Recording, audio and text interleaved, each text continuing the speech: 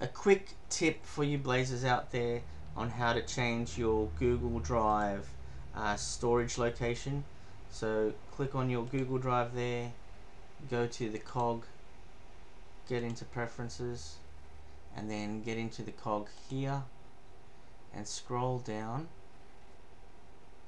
and then you'll see local cached files uh, directory click on change and then pick the location.